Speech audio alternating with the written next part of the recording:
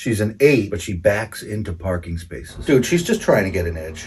She's gonna save like two seconds when she goes to leave. Okay, she's a 10, but she goes 65 in the fast lane on the Mass Pike. Uh, 2. And also have the troopers throw her in jail. Okay, she's a 4, but she has a job growing for the dispensaries. Oh, she's a 10, and I'm proposing. Okay, she's a 10, but she immediately gets up when the plane reaches the gate. She's a 0, and she should go on the no-fly list because nobody wants to smell 200 strangers' asses while we all wait together for an inevitable 10 more minutes. Okay, she's a 6, but she likes bigger guys who are a 3. 10. She's got great taste and she sees people for who they are on the inside. She's a 6, but her family has a nice place on Cape Cod with a boat. Mm, it depends on if it's over the bridge or not. If it ain't over the bridge, it's not Cape Cod. I don't care what you say. Hyannis. 10.